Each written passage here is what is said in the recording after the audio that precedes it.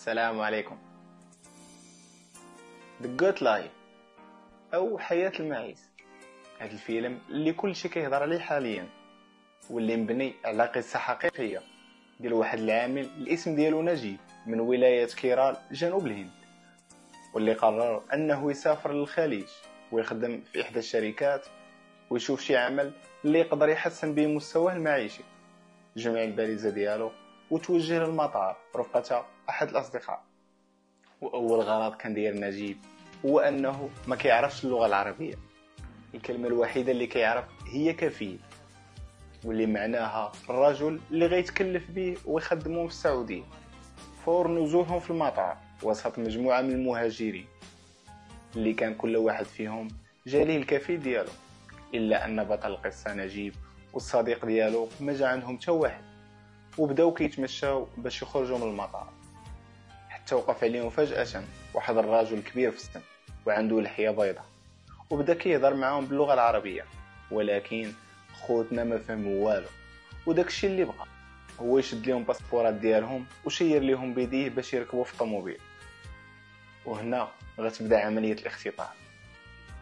هذا الراجل اللي موقف بيهم حتى لوسط الصحراء. وفرقهم كل واحد حطوه في المزرعة ديال الماعز وهنا غتبدا المعاناة ديال هاد الصديقين. في العمل ديالهم الجديد رعي الإبل والماعز لمدة خمس سنوات بحال العبيد. هاد الأحداث اللي غتغوص بكم وسط عالم الظلم والقهر والاستبداد اللي كيتعرضوا ليه المهاجرين الهنود والسريلانكيين والدول المجاورة والمعاملة السيئة اللي كيتلقاوها من طغاة أصحاب المزارع هناك. وحتى المغاربة كاينين بعض القصص المشابهة. بحال وحده كان عاودها السي عبد القادر الخراز واللي البطل ديالها واحد الشاب مغربي اللي كان جالي أحد المنقبين من الديار السعودية وكان واعدو باش يوقع لأحد الأندية في السعودية. وملي مشى تما دخلوه هو وسط الصحراء. وبعد معاناة طويلة تمكن باش يهرب ورجع البلاد هذا الفيلم مليء بالمشاهد الحزينة والمؤلمة وفيها أيضا واحد الشخصية اللي غتكون محبوبة عند كل مشاهدي الفيلم واللي هي إبراهيم الرجل الإفريقي واللي عنده شخصية محورية في الأحداث. اللي غيساعد نجيب على الصبر والبقاء في أصعب الظروف وبلا ماكلة بلا ما.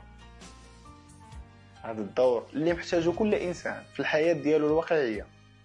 كل واحد فينا محتاج ناس بقيمة إبراهيم اللي يكون في جنبنا ويساعدنا نفسيا وجسديا. ويبعث فينا الأمل والمقاومة اللي تخلينا نستمر في الحياة بشكل أفضل.